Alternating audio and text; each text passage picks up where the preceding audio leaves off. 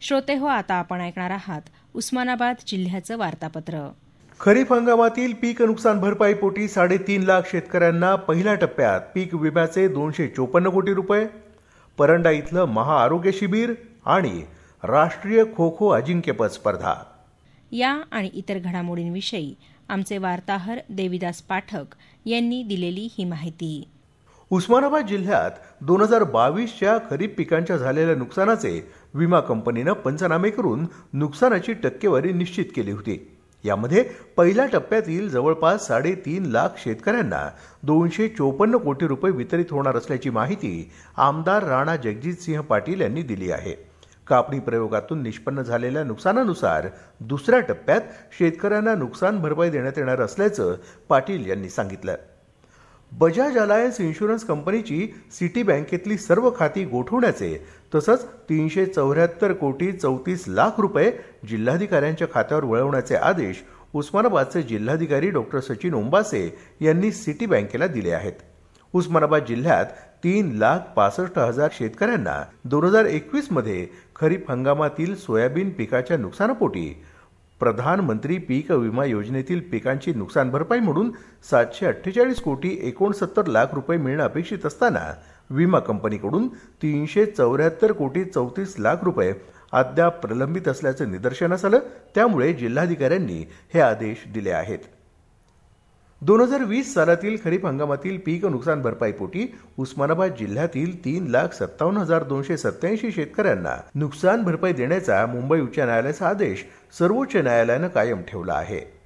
या नुकसानापोटी दीडशे कोटी रुपये उच्च न्यायालयात तर बारा कोटी रुपये उस्मानाबादच्या जिल्हाधिकाऱ्यांकडे जमा करण्याचा उच्च न्यायालयाचा आदेश सर्वोच्च न्यायालयानं कायम ठेवला. केंद्रीय आरोग्य राज्यमंत्री डॉक्टर भारती पवार यांनी उस्मानाबाद इथं जिल्हा सामान्य रुग्णालयाची आणि वैद्यकीय महाविद्यालयाची पाहणी करून जिल्हा आरोग्य यंत्रणेच्या कामकाजाचा आढावा घेतला. या वैद्यकीय महाविद्यालयात दर्जेदार आरोग्य सुविधा आणि गुणवत्तापूर्ण शिक्षण देण्यासाठी साडेतीनशे कोटी रुपयांच्या सामाजिक उत्तरदायित्व निधी सीएसआर मिळणार असल्याचं डॉक्टर पवार यांनी यावेळी सांगितलं. जागतिक एड्स दिनानिमित्त उस्मानाबाद जिल्हा सामान्य रुग्णालयाच्या जागतिक एड्स नियंत्रण कक्षाच्या वतीनं जनजागृती फेरी काढण्यात आली. डॉक्टर भारती पवार यांच्या हस्ते या फेरीचं उद्घाटन झालं. एड्स सारख्या जीवघेणा आजार हद्दपार करण्यासाठी संकल्पबद्ध होण्याची आवश्यकता डॉक्टर पवार यांनी व्यक्त केली. परंडा इथं महाआरोग्य शिबिर घेण्यात आलं. राज्याचे आरोग्यमंत्री आणि जिल्ह्याचे पालकमंत्री डॉक्टर तानाजी सावंत यांनी या शिबिराचं उद्घाटन केलं. या महाआरोग्य शिबिरासाठी जिल्ह्यातील नागरिकांचं मागील एक महिन्यापासून सर्वेक्षण करण्यात आलं. आरोग्य दूत आणि आशा स्वयंसेविकांनी घराघरात भेटी देऊन माहिती संकलित केली. या दोन दिवसीय महाआरोग्य शिबिरात दीड लाखापेक्षा जास्त नागरिकांची आरोग्य तपासणी करण्यात आली. राज्य महिला आयोग आपल्या दारी. या उपक्रमांतर्गत राज्य महिला आयोगाच्या अध्यक्ष रुपाली चाकणकर यांनी उस्मानाबाद इथं जनसुनावणी घेतली. या जनसुनावणीत दाखल झालेल्या अठ्ठेचाळीस पैकी त्रेचाळीस प्रकरणांची सुनावणी झाली. त्यानंतर झालेल्या पत्रकार परिषदेत चाकणकर यांनी गर्भलिंग निदान तसंच बालविवाह थांबवण्यासाठी नागरिकांनी प्रशासनाला सहकार्य करण्याचं आवाहन केलं. कौटुंबिक हिंसा हुंडाबळी अशा समस्या समाजापुढे आव्हान असून कायदा आणि प्रशासन याचा यात हस्तक्षेप करण्यापेक्षा समाज सुसंस्कारित होणं गरजेचं असल्याचं मत चाकणकर यांनी यावेळी व्यक्त केलं. पंचावन्नावी राष्ट्रीय खो खो अजिंक्यपद स्पर्धा उस्मानाबाद इथं घेण्यात आली. महाराष्ट्राच्या महिला संघानं या स्पर्धेत विजेतेपद कायम राखलं आहे.